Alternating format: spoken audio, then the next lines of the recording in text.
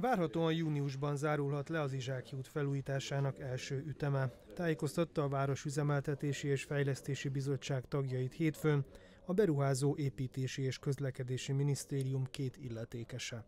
Povázsai Pál, a minisztérium osztályvezetője és Bíró Judit projektvezető, a tárca megbízott munkatársa elmondták, Utoljára a Petőfi Sándor utcáról a Mária körútra jobbra kanyarodó sáv kialakításakor tártak fel egy 11 kV volt feszültségű kábelt, mely olyan további nem várt munkálatokat tesz szükségessé, amelyek következtében március vége helyett csak június közepén történhet meg várhatóan a csomópont műszaki átadása.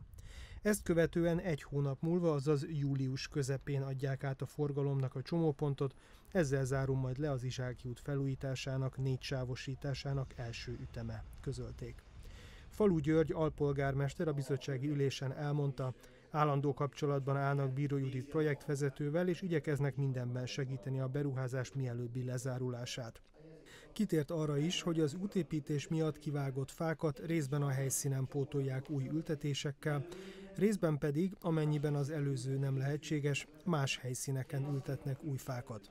Ezt a folyamatot Győri András főkertész felügyeli, és biztosítja, hogy összességében minden kivágott fa pótolva legyen, hangsúlyozta Falu György.